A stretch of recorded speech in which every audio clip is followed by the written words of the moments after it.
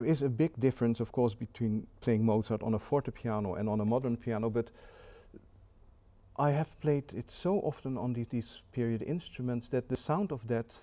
it sticks between your ears and whenever I play on a modern piano I can't get rid of that. So what I try to do is get as close to that sound as possible with a modern piano and it, it probably means that you're not using the full dynamic range of a modern instrument. You're a little bit more careful, maybe a little bit more short, less legato, more staccato or leggero and I found that in that way you can actually, well, people quite often say after a concert, a Mozart piano concerto or modern piano, it sounded as if you were playing a forte piano. And I think that is probably my aim to make the modern piano sound a little bit more like a forte piano, which is a lot easier than the other way around, I can tell you.